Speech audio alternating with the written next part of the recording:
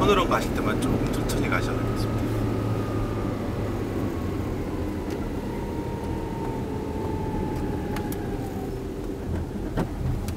어.